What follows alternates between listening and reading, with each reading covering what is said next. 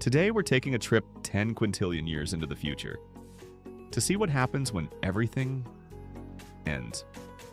First stop Earth. Our once blue planet?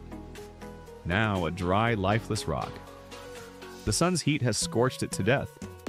Oceans gone, atmosphere burned away.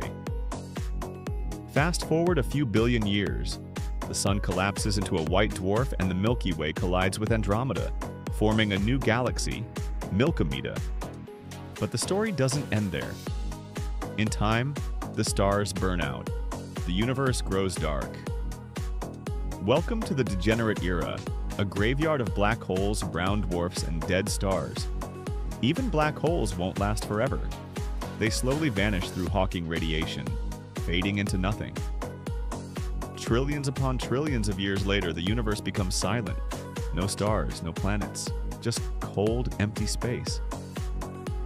This is the big freeze, like the final chapter of everything we know. Or maybe it's just the start of something new.